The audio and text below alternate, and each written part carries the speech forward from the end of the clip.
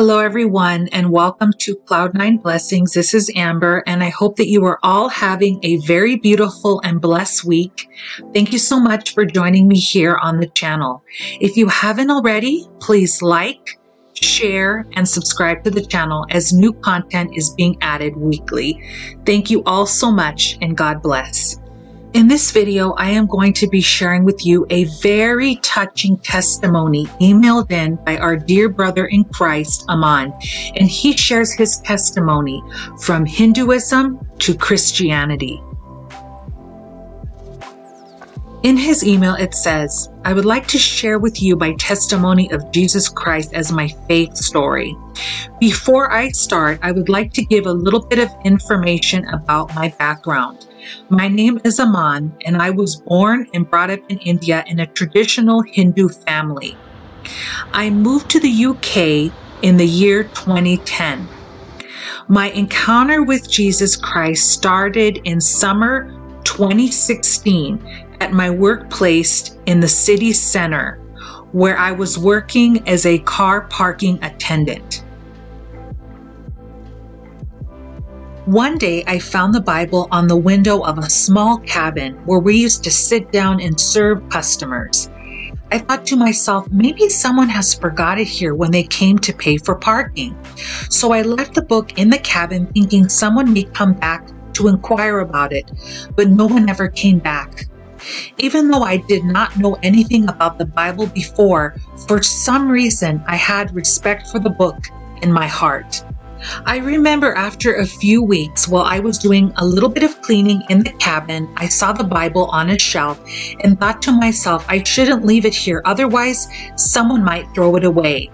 So I took the Bible home and thought in my mind that I will give it to someone who is a Christian. At home, I left the book on a table in my room. One weekend, I had a day off from work. While I was relaxing in my room, I got a little curious to know what the Bible was about. And this is when some unbelievable things started to happen to me. I remember I opened the Bible and read Genesis where it says how God created the world. I also looked at other verses as well. I then put the Bible back on the table and I went to sleep. About 2 a.m. in the morning, while I was pretty much in a deep sleep, I heard a loud voice that woke me up, and I heard someone calling my name, saying, Aman, Aman. The voice seemed quite deep and near. I opened my eyes and stayed in bed to make sure it wasn't my imagination, but I kept hearing it. So I quickly came out of my bed and switched on the light to see who it was. To my surprise, I couldn't see anyone in my room. Also, as soon as I came out of my bed, I stopped hearing the voice. I then went back to sleep. That time, though, I didn't take it too seriously, thinking maybe it was an illusion and no one was calling my name. After a few days when I was sleeping at night, about 2 a.m., I suddenly felt a very heavy burden on my body. I couldn't move or get up nothing. I tried to shout for help with all my strength, but couldn't even say a word. Being in this condition while I was thinking, what should I do? I heard a very clear voice in my mind say, Call on the name of Jesus Christ. And with all my strength, I shouted, Jesus, help me. Immediately, that burden was lifted off my body. The next night, the same thing happened to me. I then remember thinking, what is wrong with me and why is this happening to me? I really need to speak to someone. I didn't want to tell this to my parents because I thought it would only make things more complicated. They may think that maybe someone has tried to brainwash me about Christianity. So I decided that I would look for someone at my workplace who was a Christian and might have knowledge about it. After a couple of days, one lady whose name is Jane came to the parking lot with her daughter. Her daughter is a regular customer there, and Jane used to come in with her quite a few times. The moment I saw Jane, I somehow felt she was the right person to talk to, and I believe God sent her there at the right time when I was searching for someone. The first question I asked her is, Are you a Christian? And she said, Yes, I am. And then we started our conversation, and I told her everything that had happened to me in the past few days. After hearing me patiently, she said, My dear, it's God calling for you. Jesus is calling you and you must follow him. She said, If you hear that someone is calling your name again, say, Lord, I am listening. She also suggested to me that if I wanted to know more about Jesus, to read John in the New Testament. I opened the Bible and started to read John and immediately felt a very warm presence around me.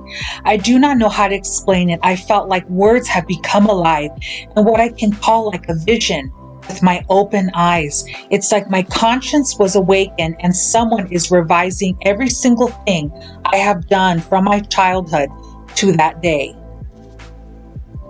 After a couple of weeks, Jane visited me again at my workplace and she gave me a mobile number for her pastor and said if I can to give him a call. And so I did. I spoke to him over the phone and we decided to meet in town. When I met the pastor in town, I gave him my testimony, but at the same time, I expressed my concerns and doubts as well. I should say at that time, all of the negative thoughts had surrounded me thoughts about my friends, family, religion, and why God had chosen me.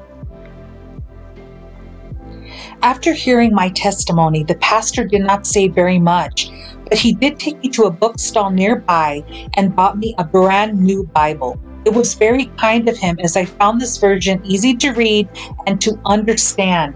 He also gave me the address of a church nearby my home. Even after talking to this pastor, for some reason, I still did not find satisfaction. That same night, in my dream, I was sleeping. Suddenly, a very bright light in human shape stood next to my bed. I woke up, and the moment I saw the light, I said in a loud voice, Jesus, Jesus, even though he didn't say, I am Jesus. But to my surprise, I knew him already. It's like my spirit knew him before. And the first thing he said was, Follow me.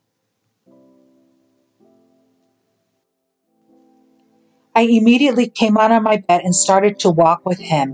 As soon as I walked out of my house with him, I could see a very open area. It seemed like all the houses and everything had disappeared. Jesus stretched his right arm and said to me, Look. As I started to look, I saw a very long line of people as far as I could see. When I looked carefully, I noticed that they were all floating about two feet above the earth, and they were all dressed in white clothes. One by one, all of them were coming into the light and were quickly disappearing. He then stretched his arm towards the left and said to me, Look, and I saw the same thing happen. At last I looked straight and saw another line of people doing the same.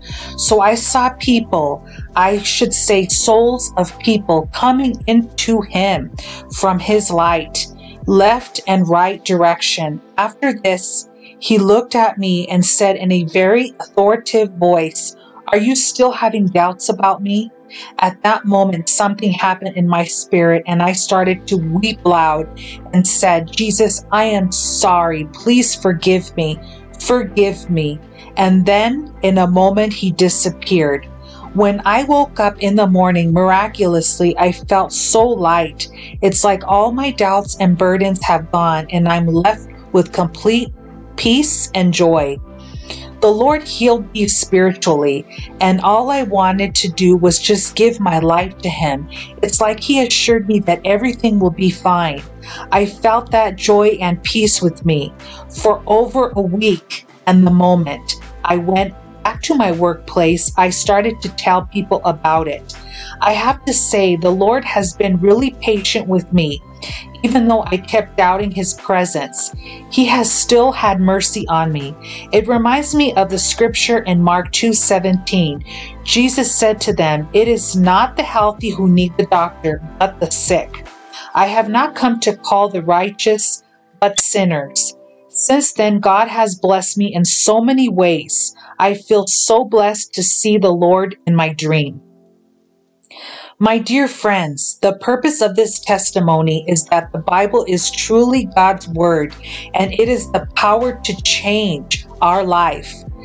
Jesus Christ is the Son of God. He was and He is ever more present in this world and is ready to come into our hearts and save us from our sins if we sincerely call on His name. God bless you all. Aman. Thank you so much, Aman, for sending in this beautiful testimony to the channel and how amazing our Lord and Savior, Yeshua HaMashiach, Jesus Christ is. Thank you all so much for watching this video today. I hope it truly blesses each and every one of you. God bless you all.